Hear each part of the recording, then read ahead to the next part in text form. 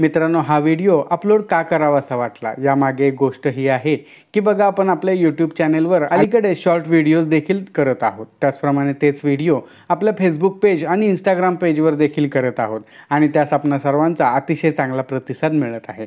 त्याबाबत खूप खूप आभार. फेसबुक पेज आणि इंस्टाग्रामची लिंक खाली डिस्क्रिप्शन बॉक्समध्ये दिलेली आहे.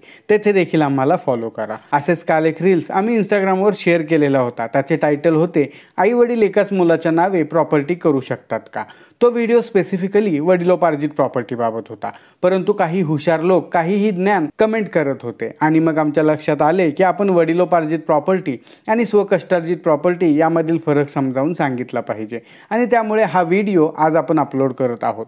व्हिडिओ सुरू करण्या अगोदर माझी आपणास विनंती राहील की चॅनेलवर नवीन असाल किंवा चॅनेलला अद्याप सबस्क्राईब केलेलं नसेल तर अशीच कायदेविषयक माहिती सोप्या भाषेत मिळवण्यासाठी आमच्या चॅनेलला सबस्क्राईब करा. त्याचबरोबर तुम्हाला आमच्या आमच्यातर्फे कायदेविषयक सल्ला घ्यावायचा असेल तर स्क्रीनवर दिसत असलेल्या मोबाईल नंबरवर व्हॉट्सअप मेसेज करून तुम्ही कॉल बुक करू शकता. त्यासाठी नाममात्र सल्ला फी आकारली जाईल. नमस्कार मित्रांनो कसे आहात सगळे? स्वागत आहे तुम्हा सर्वांचे माझ्या यूट्यूब चॅनेल लॉट रेझरमध्ये सर्वात प्रथम तर आपण वडिलोपार्जित प्रॉपर्टी म्हणजे नक्की कोणती प्रॉपर्टी याबाबत माहिती घेऊयात. सर्वसाधारणपणे वडिलोपार्जित प्रॉपर्टी म्हणजे ती प्रॉपर्टी असते की जी प्रॉपर्टी आपले पूर्व हक्कदार म्हणजेच पंजोबा असतील आजोबा असतील यांच्याकडून पाझरत आपल्यापर्यंत पोचलेली असते. अगदी त्याचप्रमाणे जर एखाद्या व्यक्तीची स्वकष्टार्जित प्रॉपर्टी असेल परंतु त्याने त्याच्या जीवन कालावधीमध्ये ती प्रॉपर्टी कोणालाही मृत्यूपत्राने बक्षीसपत्राने किंवा अन्य हस्तांतरणाच्या मार्गाने हस्तांतरित केलेली नसेल तर त्या प्रॉपर्टीमध्ये त्या व्यक्तीच्या वर्ग एकच्या वारसांना वाटप खुले होते. आणि मग ती प्रॉपर्टी त्या वर्ग एकच्या वारसांची वडिलोपार्जित प्रॉपर्टी मानली जाते. आता वर्ग एकचे वारस म्हणजे काय आणि ते कोण असतात या याविषयी सविस्तर माहिती देणारा व्हिडिओ चॅनेलवर अपलोड केलेला आहे. वर आय बटनवर त्याची लिंक दिलेली आहे. वर्ग एकच्या वारसांबाबत सर्व माहिती घेण्यासाठी तो व्हिडिओ नक्की पहा.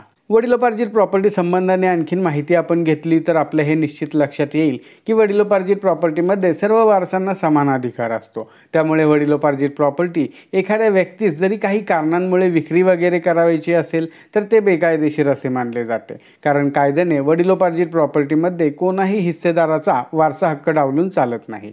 आता माहिती घेऊयात स्वकष्टार्जित प्रॉपर्टीबाबत बघा या नावामध्येच याचा अर्थ लपलेला आहे की जी प्रॉपर्टी स्वतःच्या कष्टाने अर्जित केलेली असते त्याला आपण स्वकष्टार्जित म्हणजे सेल्फ अक्वायर्ड प्रॉपर्टी असे म्हणतो. समजून चालूयात की रमेश त्याच्या गावापासून दूर मुंबईस नोकरीनिमित्त राहत असतो आणि रमेशने त्याला येणाऱ्या मासिक वेतनामधून काही प्रॉपर्टी खरेदी केलेली आहे. तर ही प्रॉपर्टी रमेशची स्वकष्टार्जित प्रॉपर्टी असते.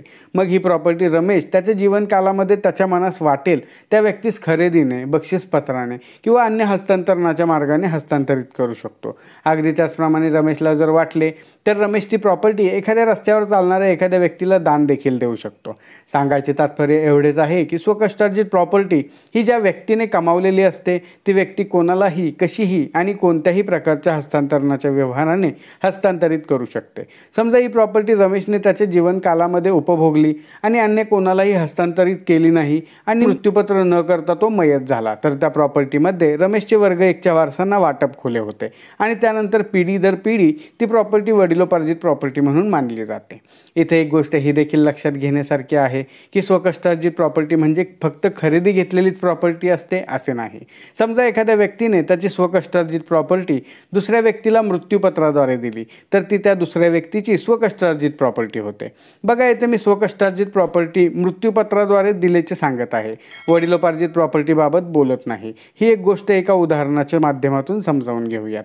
चालू आहेत की रमेशने त्याच्या स्वकष्टार्जित उत्पन्नातून एक प्रॉपर्टी घेतली आहे आणि त्याने ती प्रॉपर्टी सुरेशला मृत्यूपत्राने दिली. तर ती सुरेशची स्वकष्टार्जित प्रॉपर्टी मानली जाईल.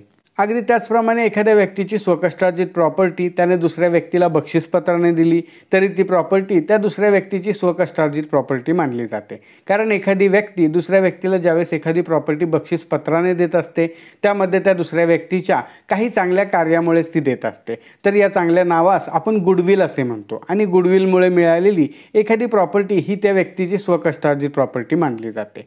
आता आणखीन एक प्रश्न नेहमी विचारला जातो की रमेशने जर एखादी प्रॉपर्टी कुळ कायदा कलम बत्तीस ग अन्वय खरेदी केली असेल तर ती वडिलोपार्जित का स्वकष्टार्जित जमीन होते. तर रमेश जर त्या प्रॉपर्टीवर कुळ असेल आणि बत्तीस ग अन्वय खरेदीची रक्कम रमेशने स्वतःच्या कष्टामधून आलेल्या पैशामधून खरलेली असेल तर ती त्याची स्वकष्टार्जित होते. आणि जर रमेश त्याच्या जीवनकालामध्ये त्या प्रॉपर्टीचे हस्तांतरण न करता मयत झाला तर ती प्रॉपर्टी रमेशच्या वर्ग एकच्या वारसांची वडिलोपार्जित प्रॉपर्टी होते. या उलट जर बत्तीस ग अन्वय खरेदीची रक्कम वडिलोपार्जित शेतीमधून आलेल्या उत्पन्नातून किंवा एकत्र कुटुंबातील एखाद्या व्यवसायामधील आलेल्या पैशामधून किंवा वडिलोपार्जित शेतीची विक्री करून आलेल्या पैशातून भरलेली असेल तर ती प्रॉपर्टी त्या एकत्रित कुटुंबाची वडिलोपार्जित प्रॉपर्टी मानली जाते. आणखीन एक प्रश्न असाही विचारला जातो की एखाद्या व्यक्तीने वडिलोपार्जित प्रॉपर्टीची विक्री करून दुसरी प्रॉपर्टी घेतली तर ती स्वकष्टार्जित प्रॉपर्टी झाली का वडिलोपार्जित प्रॉपर्टी तर बघा वडिलोपार्जित प्रॉपर्टीची विक्री केल्यानंतर त्यामधून जे पैसे येतात त्यावर निश्चितच सर्व सहहिस्सेदारांचा हक्क व अधिकार असतो.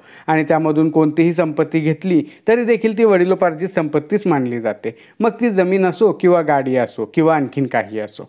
तर मित्रांनो अशा प्रकारे आजच्या व्हिडिओमध्ये आपण वडिलोपार्जित प्रॉपर्टी म्हणजे काय आणि स्वकष्टार्जित प्रॉपर्टी म्हणजे काय आणि त्या दोन्हीमधील फरक काय असतो याबाबत सविस्तर माहिती घेतलेली आहे. आजच्या व्हिडिओमध्ये आपण येथेच थांबणार आहोत. पुन्हा भेटू अशाच एका माहितीपर व्हिडिओमध्ये. तोपर्यंत नमस्कार.